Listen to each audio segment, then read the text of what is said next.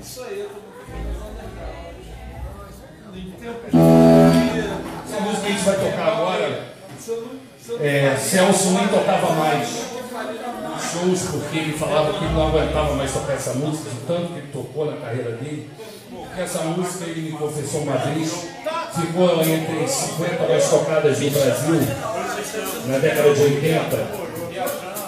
E ela sendo top 50 do Brasil, sendo um blues, foi um, um marco assim. Eu considero Celso Lisboa o maior bluesman de todos os tempos brasileiros. Sempre vai ser meu ídolo. E foi um ídolo que eu conheci e que subia ao palco para tocar comigo, então eu nunca vou esquecer isso. E eu tive a oportunidade de, de falar com ele que ia levar isso, a obra dele comigo, e ele aprovou. Eu falei isso com ele, juiz de fora, eu lembro do que eu tinha uma banda chamada Blues Power, ele acabou participando, tem até um, um vídeo lá no YouTube. E isso para mim é uma honra, saber que ele gostava do meu trabalho, que ele admirava a minha maneira de tocar, que eu sabia as músicas dele. Primeira vez que eu tive contato com ele, foi o primeiro show que eu tive o prazer de fazer com a minha outra banda, que era baseada em Blues 92. Foi abrindo o show do Celso, o primeiro show que eu fiz, não é coincidência isso. Em São João de Meriti, no Sesc, e a gente abriu o show do Celso, depois nós Cadê conversamos com ele. Depois ele acabou fazendo turnê com baseado em Blues 98, lançamento do nosso segundo CD, que ele participou, gravou uma música minha, inclusive. Enfim, é muita história para contar. Se eu ficasse aqui falando, ia encher o saco de vocês com tanta história, não é? Não estou aqui para isso, estou aqui para tocar. Enfim, e essa música. tocando gente cantar muita música, eu acho sensacional. Essa música, ele, ele falou que entrou no top 50 do Brasil, ele não aguentava mais tocar, não tocava mais nos shows, mas se tivesse que botar num set de especial ele colocava, a gente colocou para homenageá-lo também.